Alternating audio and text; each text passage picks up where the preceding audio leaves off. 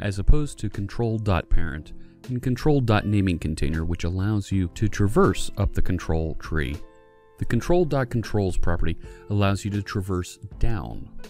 This property is a controls collection returning the immediate child controls. Using the quick watch in debug mode, you can efficiently browse the controls properties, such as text, CSS class, control, and more. This video will show you how you can identify the child controls inside different controls.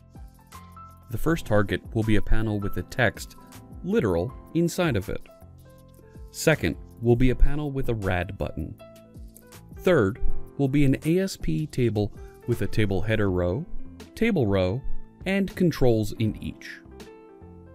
Finally, there will be one RadGrid with different columns.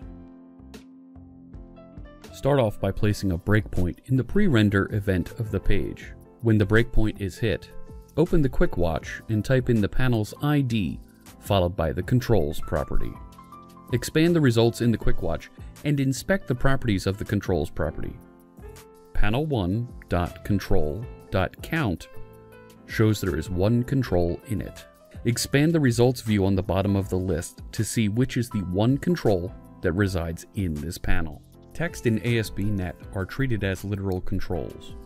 You can further expand the literal control to find out more about that. It inherits from the control class and has many of the properties a control would have.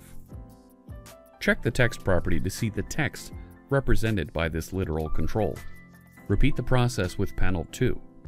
Type panel2.controls. Inspect the properties. The count returns 3. Expand the results view to find out more about those controls.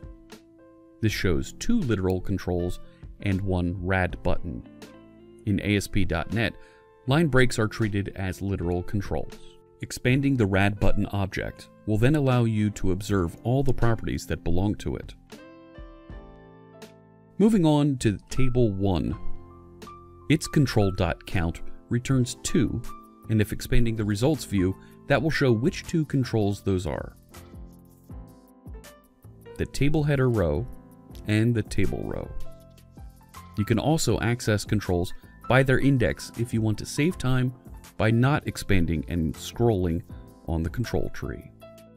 The controls collection of the first control in table 1 yields another control, and that is the table header cell.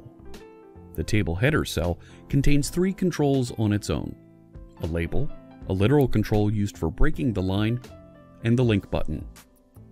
Accessing its third control, the link button in this case, will then reveal the properties of that control. Moving on to RadGrid 1. If you prefer, you can always expand the tree in the Quick Watch window to find out more about the object. You can find all properties that are not visible with IntelliSense.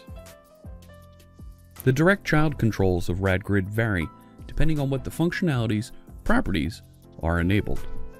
In this video, the Grid Group panel, Grid Table View, and ASP panels are visible. Grid Table View is the most commonly used control, as that one contains the important part, such as the columns, rows, cells, and more. Expanding the Grid Table View will reveal two controls, the table and one more. The table contains the important information, and expanding that will reveal the rows. Notice that among the grid data items, or the grid rows, there are edit form items. Although they are not rendered on the page at all times, they are still part of the controls collection. Grid data items contain grid table cells, and those contain the controls created using grid columns.